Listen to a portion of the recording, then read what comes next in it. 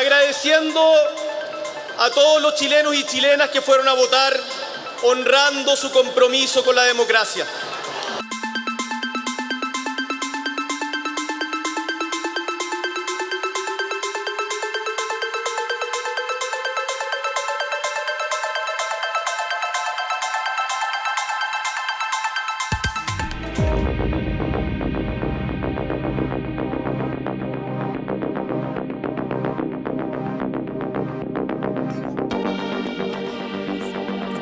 Solidarizo con el pueblo cubano que hoy día se está manifestando en contra del gobierno de Díaz Canel y sin empates ni dudas.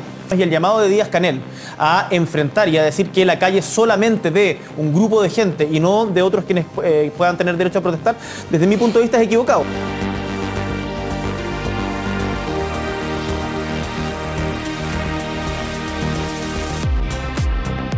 Vuelvo a decirle, estoy de acuerdo con que puedan manifestarse pacíficamente en todas partes del mundo.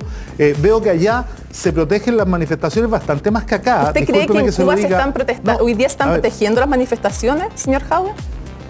Mónica, eh, hasta el día de hoy no he escuchado eh, ningún globo ocular roto en Cuba, no he escuchado ninguna eh, persecución ni ningún asesinado. ¿El Partido Comunista se va a arrepentir un día de la postura que está teniendo hoy respecto de Cuba? Cuando yo veo que el Partido Comunista, mediante sus canales oficiales, saluda al gobierno cubano en un momento en donde hay protestas contra el gobierno cubano, me parece que es un error y yo espero que se reflexione al respecto porque nosotros siempre tenemos que defender el, el derecho de todo pueblo a protestar.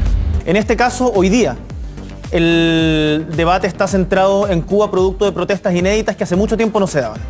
Y ahí yo me pongo del lado del pueblo cubano que está protestando contra el gobierno de Díaz Canel. Y hemos tenido información por la CIDH, por ejemplo, de que han habido violaciones a los derechos humanos. Y esas violaciones a los derechos humanos no tienen ninguna justificación. Perfecto, señor Jaue. Yo creo que nosotros no tenemos que elegir entre condenar el bloqueo y condenar las violaciones a los derechos humanos. El bloqueo que hace Estados Unidos es un bloqueo criminal que tiene que acabar.